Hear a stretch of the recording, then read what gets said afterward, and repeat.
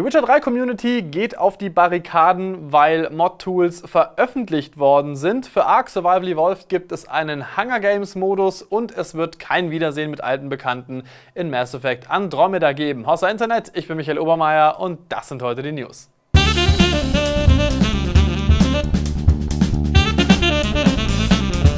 Witcher 3 Community ist erzürnt und der Grund ist, dass ein Mod-Tool veröffentlicht worden ist. Klingt jetzt erstmal komisch, ist aber relativ einfach zu erklären, denn die Fans hatten sich da ein deutlich umfangreicheres Mod-Tool erhofft als das, was jetzt als The Witcher 3 Mod-Kit veröffentlicht worden ist. Einige Fans hatten deswegen auch bei CD Projekt Red gefragt, ob man denn da noch auf mehr hoffen darf als dieses Programm, mit dem man zwar einige Sachen verändern kann, aber eben doch nicht alles.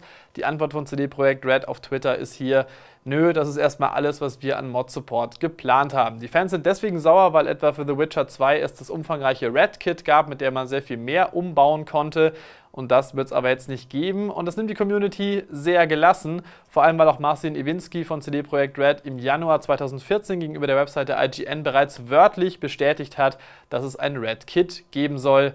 Gibt es jetzt aber wohl nicht.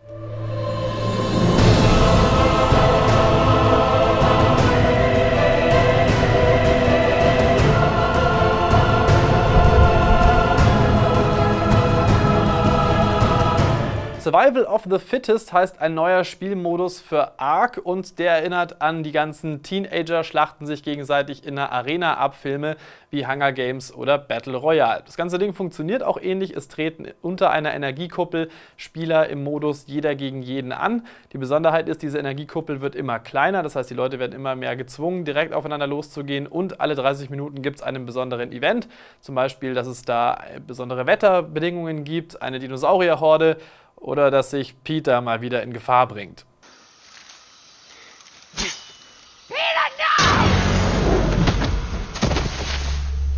Peter, der Depp. Survival of the Fittest kann man ab sofort über den Steam Workshop kostenlos herunterladen.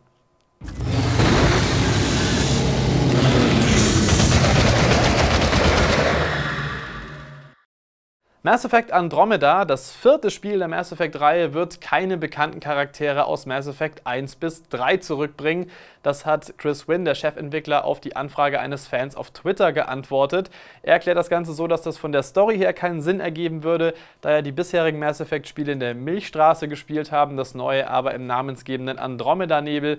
Das heißt, die können da eigentlich gar nicht sein. Einen alten Bekannten aus Mass Effect 3 wird es dann aber doch geben, nämlich das Kampfsystem. Das wird nämlich für Mass Effect Andromeda fast unverändert wieder übernommen. Wie sich das Ganze vielleicht doch verändert hat, finden wir erst recht spät raus.